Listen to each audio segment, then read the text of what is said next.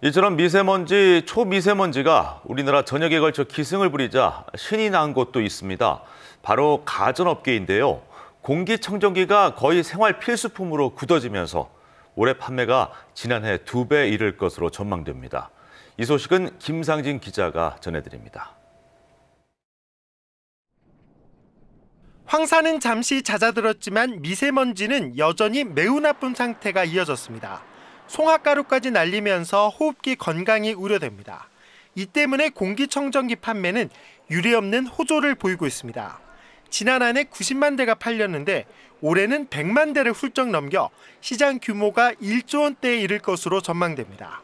어, 요즘 뭐 이제 황사도 심하고 꽃가루도 심하고 또 딸도 혼수품으로 예, 구입하려고 왔습니다.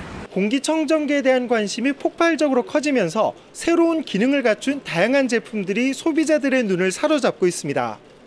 현재 공기질 상태와 필터 교체 시기를 알려주는 기능은 대부분 제품이 갖추고 있습니다.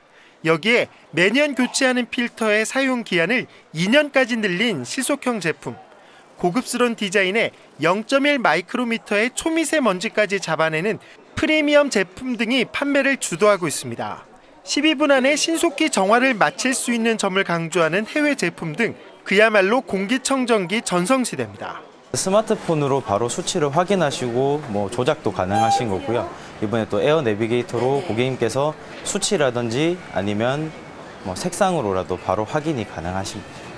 가격이 만만치 않은 만큼 풍량은 어느 정도인지, 에너지 효율은 어떤지, 집안 유해가스 제거도 가능한지 등 여러 가지를 꼼꼼히 따져보는 소비자의 지혜가 필요합니다.